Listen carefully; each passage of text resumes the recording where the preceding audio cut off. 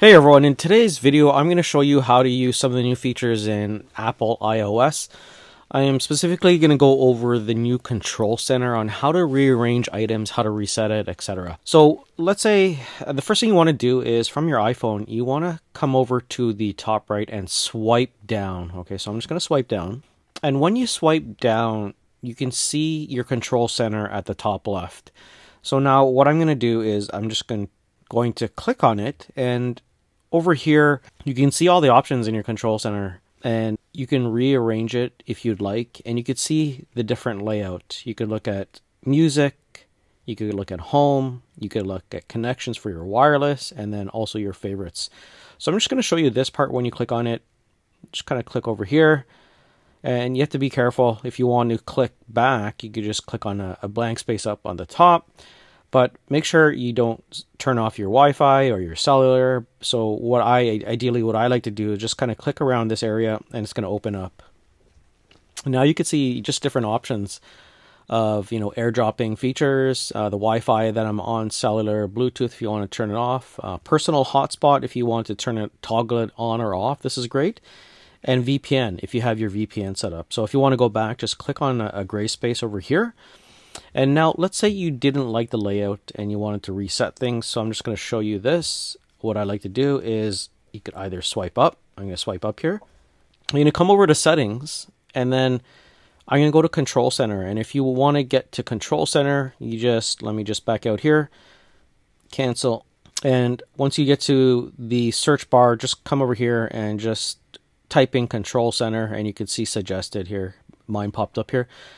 So when you, you're in the control center and you want to reset things, just come over here and click on reset. I'm not going to do this because I'm just going to go back and I'm just going to show you how to add shortcuts to your control, your control center. So now that I'm at my home page, I'm going to come over here to the top right and I'm going to just use my index finger and my thumb and quickly slide down. And now it's going to bring up my control center. Now let's say I wanted to add some features in here.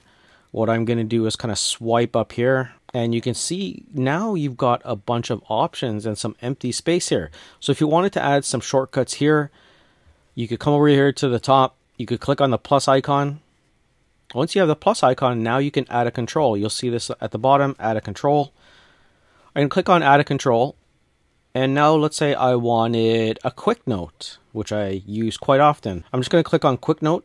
And now you can see I've got quick note here. And if I wanted to move it down to the left or right, or I wanted to re rearrange ChatGPT, because I got ChatGPT here, I could just quickly put my thumb over here, hold it for a second, and drag it to the left until I it rearranges and I've got it there. Now if I wanted to remove, because you can see I've got two quick notes here. So if I want to remove one of them, I just, I'm just going to quickly tap on this minus and there you go. Now if you wanted to get out of the screen, what I like to do is I just like to click off around this area right here. I'm going to click off on it and I'm just going to swipe up. And now I could test this control center and just see where my quick notes are. Because if I didn't have my quick notes here and I wanted to re rearrange my desktop so it looks nice and clean, I could. And I can now have my notes as a shortcut in my control center. So if I want to do this, I'm going to come to the top right and I'm going to swipe down. And then I'm going to swipe up to get to, to my notes. And I'm going to click on that. And now have access to my notes. And I'm just going to say, get groceries. Click on save. And that's a little reminder. So when I go to my notes, I can see one of my first things as a reminder on my notes at the top of the list is to get groceries. So that's how you change items in your control center. If you like the video, please don't forget to subscribe, like, and comment as it really helps out the channel.